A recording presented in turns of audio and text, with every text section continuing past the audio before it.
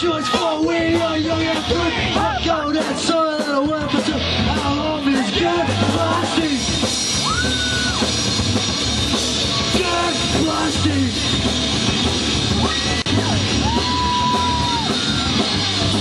Outland abandoned nations get some beauty rich around.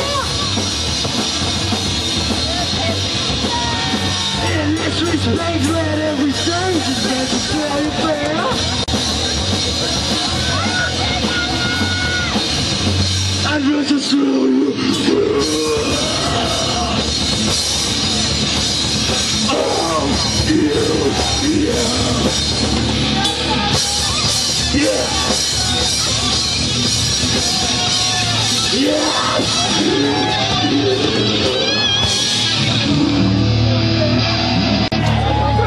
Thank you very much.